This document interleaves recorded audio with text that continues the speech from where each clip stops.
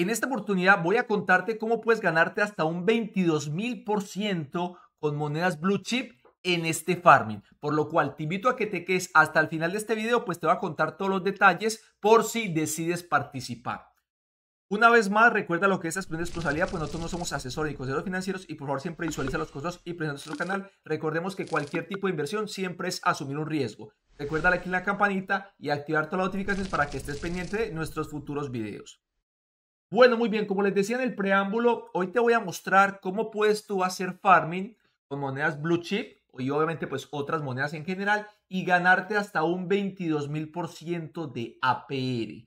Obviamente todo esto tiene su tricky, todo esto tiene digamos su clave para que no creas que todo lo que brilla es oro, porque justamente una cifra como 22 mil por ciento a cualquiera se le hace agua en los ojos, pero hay que ser bastante realistas y obviamente todo te lo voy a contar. Bien, primero que nada, yo estoy participando en lo que es, digamos, este farming. Este farming se está llevando a cabo en Trader Joe. Eh, te voy a dejar, por supuesto, pues el link en lo que es, digamos, mi primer comentario fijado. Te dejo el link a Trader Joe. Esto no tiene link de referencia para nada. Aquí no hay ninguna promoción. Este no es un video pagado ni nada por el estilo. Simplemente, pues te comparto dónde yo participo y cómo es que yo genero ingresos pasivos. Bien, Estoy participando entonces, como les decía, en Trader Joe, que es, digamos, un DEX muy famoso, más que todo a nivel de Avalanche, a nivel de AVAX, ¿sí? De hecho, si vemos, la que más está pagando en este momento justamente es AVAX, y en este caso estamos hablando de dos monedas Blue Chip, que puede ser bastante interesante emparejarlas, porque estamos hablando que las dos se pueden comportar de manera similar, es decir, las dos pueden subir, las dos pueden bajar, y para ello, pues obviamente siempre hay que analizar el tema de los gráficos para que tú más o menos visualices cómo es que podrías poner el rango de esta liquidez concentrada. Muy bien, esto lo estoy haciendo, digamos, no en, el, en la red de AVAX, que sería lo tradicional en Trader Joe, sino en la red de Arbitrum. Últimamente le están dando bastante fuerza a la red de Arbitrum y es porque han salido un tema de recompensas adicionales, que son esto que vemos aquí que dice rewards, ¿sí? Una vez que tú entras a Trader Joe como tal, que por supuesto te voy a dejar también el link, pues obviamente a, a este DEX, Tú lo que tienes que hacer es posicionarte en la parte superior derecha en la red de Arbitrum. Luego simplemente tienes aquí la parte que dice Pulse y luego aquí en la parte que dice Pulse, pues ya aquí encuentras, digamos, todo lo que son las diferentes Pulse manuales, todas las Pulse y las que tienen recompensas. Si tú las que las que tienen recompensas, te va solamente las que están generando recompensas adicionales.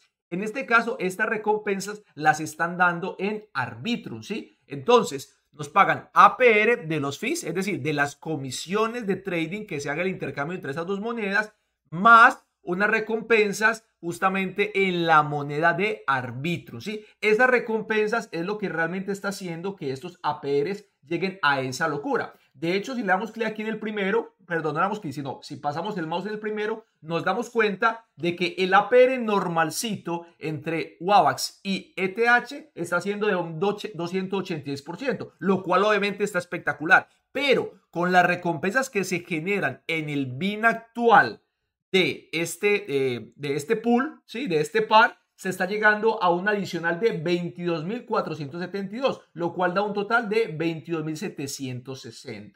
A pesar de que esta cifra parece bastante grande, como les decía, tiene, digamos, su tricky. No es que, digamos, todo lo que brille sea oro y no es que yo aquí te vaya a vender la moto cuando realmente quizás no es una moto, sino que es un triciclo. Por eso es que vamos a, ir, digamos, eh, desgranando todo esto para que tú lo entiendas mucho mejor.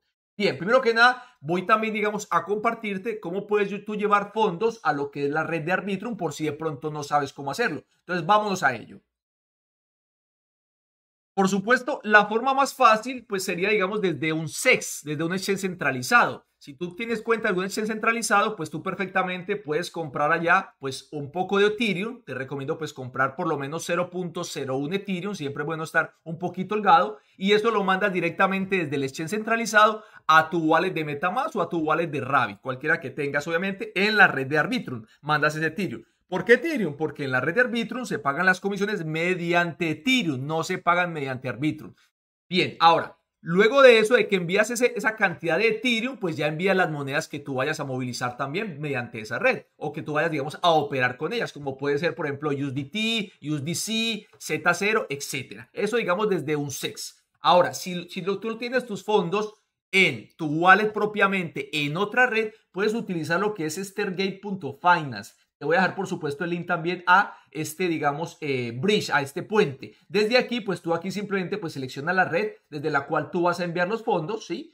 Y obviamente acto seguido pues seleccionas cuál es el fondo que tú vas a enviar o cuál es la criptomoneda que tú vas a enviar. Recuerda que primero hay que enviar siempre pues la de las comisiones. En este caso pues Ethereum. Acto seguido, pues ya envía las que tú necesites. O otra cosa que puedes hacer es que lo puedes enviar todo en Ethereum y luego mediante los swaps que puedes hacer al interior de Trader Joe, puedes tú intercambiar parte de ese Ethereum por las monedas que tú vayas a utilizar. Entonces es importante siempre saber cómo movilizar los fondos. Por supuesto hay muchos más puentes aparte de Stargate, pero Stargate me pareció bastante económico en tema de comisiones y por ello es que te lo estoy señalando propiamente pues en este video. Bien, entonces esta es la forma como tú puedes movilizar tus fondos. Bien, continuamos entonces con el tema del farming.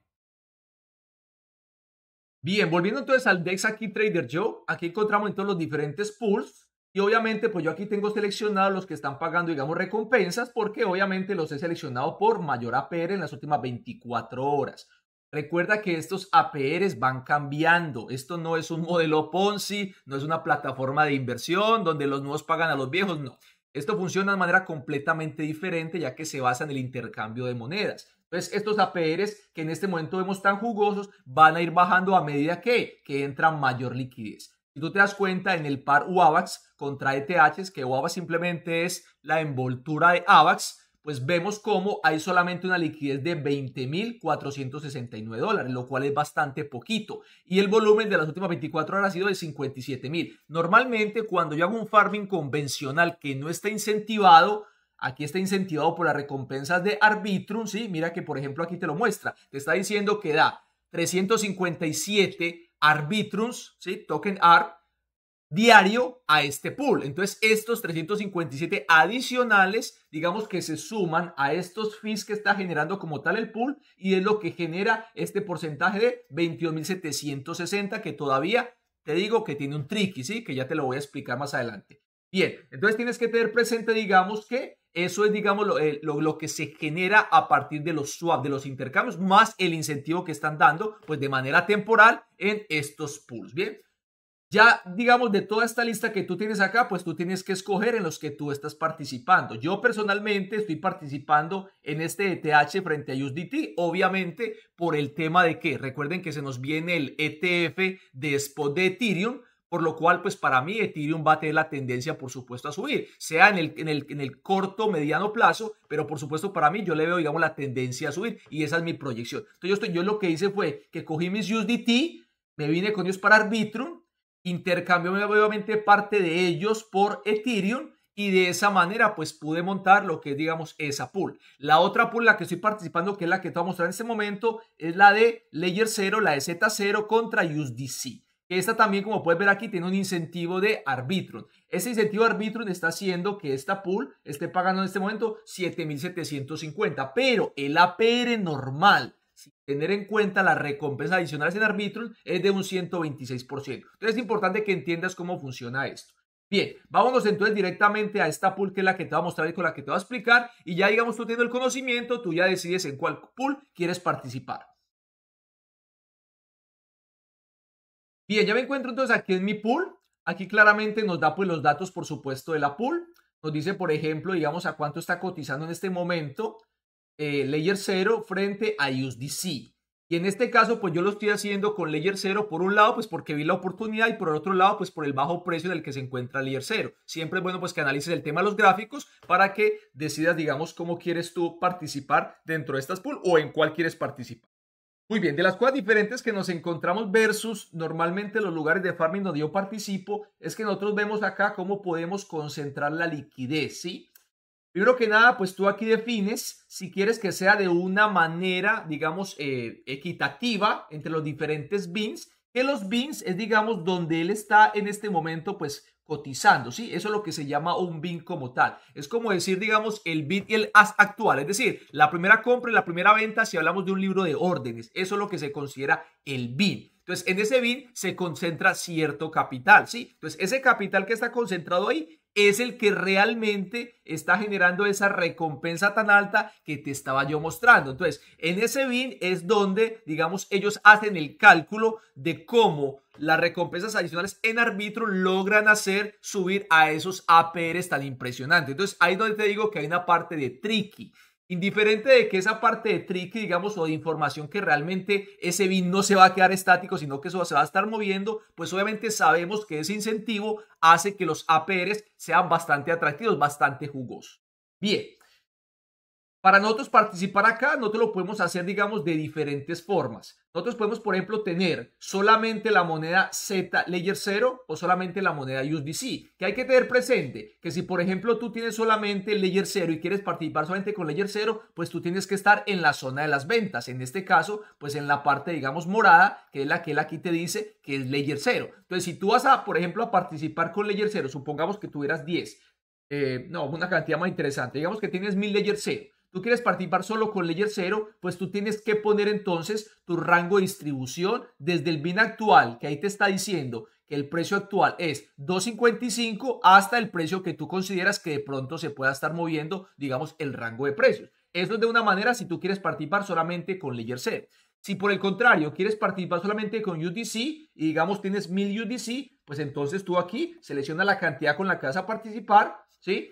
Luego, obviamente, selecciona la distribución de tu liquidez, que recuerda, esta es equitativa. Esta es que va a estar, digamos, digamos, mayor cantidad de capital concentrado en torno al precio actual, ¿sí? Esta es que la mayor cantidad de capital va a estar concentrado en los extremos del rango que tú definas, ¿listo? Entonces es importante que entiendas eso. Yo normalmente, como no soy un adivino del precio, yo participo siempre en esta que es de manera equitativa pero luego te voy a mostrar cómo tú puedes ir moviendo parte de esa liquidez y es un concepto completamente nuevo para mí en esta participación mediante esta liquidez concentrada que nos muestra, digamos, Trader Joe.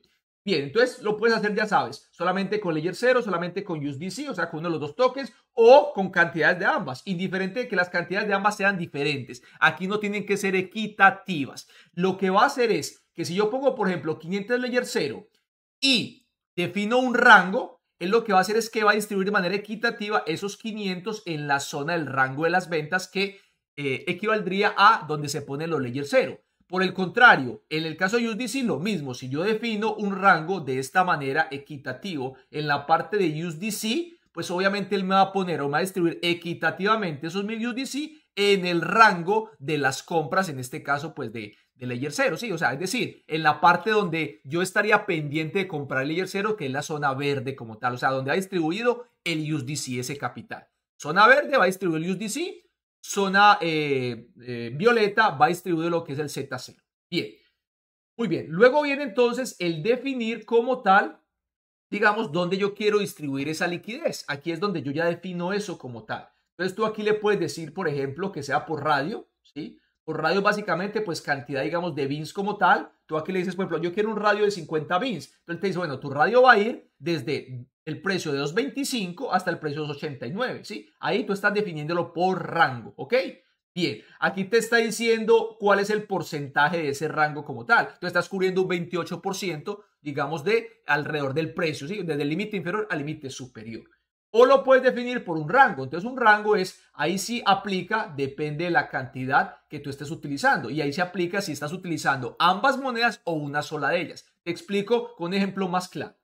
Si por ejemplo tú tienes solamente layer 0 y tú solo quieres participar con layer 0 porque estás pensando que el precio va a subir y quieres solamente beneficiarte de que él se esté moviendo por acá, pues entonces en ese caso tú lo que haces es que pones aquí tu cantidad de layer 0 y aquí vas a definir el BIN actual. El BIN actual es este que estás viendo acá. Entonces, el precio mínimo va a ser ¿cuál? Pues aquí pones 2.55, que él te va a corregir al precio mínimo. 2.55 y aquí pones, pues digamos, el precio máximo que tú quieres. De esta manera tú estares participando solamente con Layer 0, digamos, de la zona de, por decirlo así, de las ventas, que realmente es de esta zona morada, violeta o morada que vemos acá. Bien. Perfecto. Ahora, si por el contrario fuera con USDC, entonces, ¿qué haces? Con USDC pones la cantidad de USDC con la que vas a participar, pongamos 1000, y luego te vienes a sacar lo mismo. ¿Cuál es el máximo precio? Pues el BIN actual. Entonces, el BIN actual es 2.55, lo pones ahí, él te lo va a completar, ¿sí? Y luego aquí pones entonces el límite inferior, supongamos 2.20 de precio. Entonces aquí en este rango que va a estar dentro de esta zona, por así decirlo, van a estar distribuidos tus USDC de acuerdo a lo que tú seleccionaste acá. Así es como funciona. En el caso que fueran ambos pares, son de pronto ambos. Entonces vamos a cambiar esto acá para que me lo deje. Ponemos acá 500 y 1000, por ejemplo, y yo le distribuyo el rango. Bueno, yo quiero que para arriba llegue hasta 270, ¿ok? Y quiero que para abajo vaya hasta 220. Entonces ahí le estás definiendo, estás diciendo, bueno, póngame en la zona morada, aquí le ponemos el capital de 500, póngamelo en la, en la zona morada, estos 500 distribúyamelo, sí, lo que corresponda, este es el precio actual, y en esta zona acá me pondría entonces los leyes cero, y en esta zona acá me pondría entonces los UDC, así es como funciona esto. Ahora, si tú das clic aquí donde dice seleccionar, el rango que está siendo recompensado, o sea, el BIN actual, mira que él te pone solamente el capital en el BIN actual, ¿sí? O sea, en el precio actual, es decir, o sea, acá, te lo pone ahí. Y ese es el, rango que está llegando a ese APR tan jugoso, tan gigante. Ahora, ¿qué pasa? Que si tú haces eso, si él se va de ese BIN, tú dejas de ganar recompensas. Mientras él esté ahí entre ese bid y ese ask, ¿sí? O entre esa compra y esa venta, por así decirlo, de esos dos precios, pues ahí tú vas a estar generando ganancias, ¿sí? Vas a estar generando APRs muy gigantes. Pero es muy riesgoso porque pues el precio se va a estar moviendo de diferentes formas. De hecho, por acá creo que lo podemos ver. Mira, por ejemplo, acá, aquí va diciendo, bueno, aquí te va diciendo las recompensas que yo he ido ganando pues con esta participación. Aquí te, ah, bueno, aquí te lo muestra. Mira, por ejemplo, acá te dice, en este BIN, en este BIN de 2.57, míralo abajo, 2.57, ¿cuántas recompensas yo me he ganado? Es el BIN que hasta ahora, digamos, este y este son los que más recompensas han ganado. Pero miren que no es un BIN estático, por eso es que yo tengo que definir un rango, ¿bien? Ahí es donde está la parte clave, definir un rango. Una vez que tú ya has hecho entonces definir ese rango como tal, pues simplemente apruebas el contrato inicial, aquí te sale un botón de aprobación y luego simplemente le dices agregar liquidez. Verifica que cuando agregues la liquidez te quede así como la tienes acá, que te diga tu liquidez y te diga cómo está distribuido. Ahora paso a explicarte esta, esta, esta otra parte. Una vez que tú ya has puesto el rango de liquidez como tal, pues es bueno que tú estés monitoreando esto por lo menos una vez al día. ¿Y por qué? Porque hay formas, digamos, más eficientes de mejorar la liquidez. Explico cómo. Por ejemplo, supongamos que este rango que yo tengo acá, que realmente va hasta, yo lo tengo hasta 230, antes lo tenía realmente más grande, lo tengo hasta 230. Supongamos que él iba hasta 200, hasta, hasta 2 dólares, pues, ¿sí? Supongamos. Ok, pues como estos USDC, realmente a mí no me importa tener ese USDC, digamos, más lejos o más cerca. Obviamente, si lo tengo más lejos del precio actual, quiere decir que me estoy previniendo una futura caída de precio. Pero si yo pienso que de pronto ya ese, digamos, layer 0 hizo, digamos, el, el, punto más bajo de precio y yo quiero más bien darle una mejor uso a esta liquidez, yo lo que puedo hacer es que tú puedes movilizar parte de este capital que tienes acá sin utilizar, movilizarlo un poco más cerca del precio actual. ¿Y cómo se hace eso? Te lo voy a mostrar. Tienes aquí la parte de remover liquidez y tú aquí defines cuál es el rango que tú quieres remover. Supongamos aquí en mi caso puntual, el mínimo que yo tengo de precio es 230 y el máximo en las compras, aquí te lo dice, es 255.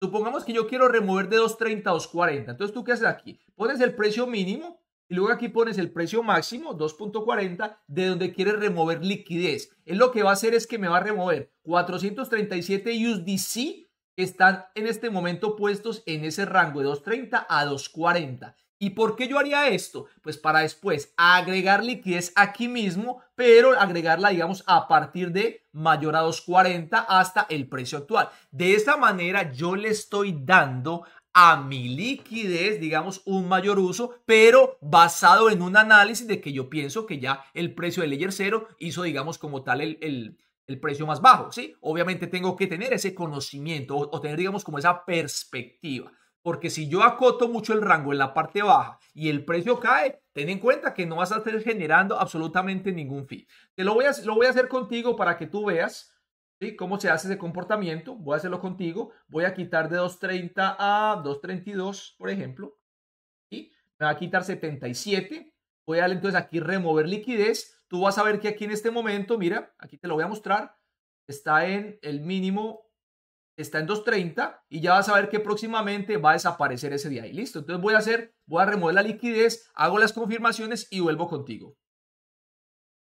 Muy bien, fuera de cámara ya he hecho como tal las confirmaciones y si volvemos acá nuevamente, mira que ya el mínimo es 2.32 y no 2.30 como yo lo tenía. Si también eres observador o devuelves este video, te darás cuenta que en la zona de USDC ya tengo menos capital porque he retirado esa parte de capital. Adicionalmente, si vengo aquí a la parte de agregar liquidez, verás que ya tengo los 77 que te estaba mostrando que los removí. Ahora, ¿yo qué puedo hacer con estos 77? Yo perfectamente puedo coger estos 77 y puedo agregar más liquidez en el BIN actual, ¿sí? Yo podría hacerlo. ¿Por qué? Porque es USDC. O sea, para mí me es indiferente, digamos, cuando es una stablecoin, digamos que yo la tenga muy atrás o un poco más adelante porque no estoy generando lo que es impermanent loss o pérdida impermanente. Por el contrario, Z0, yo sí no me atrevo a estarlo moviendo, a pesar de que tú pensarás, bueno, Jonathan, ¿y por qué no mueves esto de, acá tan atrás?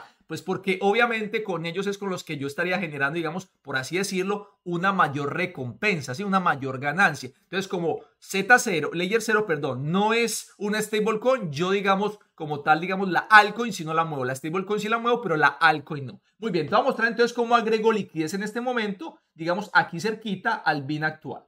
Bien, venimos aquí a la parte de agregar liquidez. Vamos a quitar esto. Le digo aquí máximo. Perfecto, los 77. Y le digo obviamente pues cómo yo la quiero definir. Si la quiero distribuir equitativamente o si la quiero poner en un lugar en particular. Bueno, supongamos que yo la quiero poner en el lugar de recompensa actual. El lugar de recompensa actual, mientras estamos hablando, ya nos dice que es 258. Entonces digamos que yo la quiero poner en este caso por aquí en el lado de los 258. Entonces yo lo que hago es que simplemente, bueno, voy a ponerla aquí que no tengo, a ver, que no se ve en el gráfico. 258 a, también veo, a 256, a 255. Vamos a poner como límite superior 258 y aquí pongamos 255. Perfecto, ahí está un pequeño ranguito. Le digo que de manera spot y vamos a ver cómo esto aquí va, va a cambiar. Bien, me dice que el BIN actual es 255. perfecto. Le digo aquí máximo. Todo está bien, si no hay ningún inconveniente, todo está claro ya puedo yo aquí básicamente, eh, ah, bueno, me está tocando, a ver, me está diciendo que estoy del lado del layer 0, bueno, que ahí no, lo, ahí no puedo agregar como tal la liquidez. Bien, ahí lo básicamente lo que me está diciendo es que según el rango que yo tengo definido, pues yo ahí no podría agregar la liquidez. Voy a actualizar un momentico página porque quiero ver algo y ya vuelvo con ustedes. Ahora sí, lo que obviamente me temía era que él no me había actualizado de que esta zona aquí ya corresponde a USDC porque Layer 0 en este momento ha subido de precio y ya se han venido los Layer 0 que estaban acá. Era el error que estábamos viendo. Por eso no me dejaba poner correctamente el rango. Ahora sí me lo deja. Entonces vamos a poner 258, el BIN actual, ¿ok? Y vamos a ponerlo, ¿sí? Por ejemplo, digamos un poquitico más abajo nada más para que se note aquí. Quiero que se note, digamos acá. Vamos a ponerlo 258 256. BIN 256. Veamos que nos quede perfecto, muy bien voy a decirle aquí el máximo USDC y obviamente ya voy a hacer entonces las confirmaciones y vuelvo con ustedes. Mire lo que te decía, hay que aprobar primero el USDC y luego simplemente agregar la liquidez. Apenas se hagan estas confirmaciones, vuelvo con ustedes.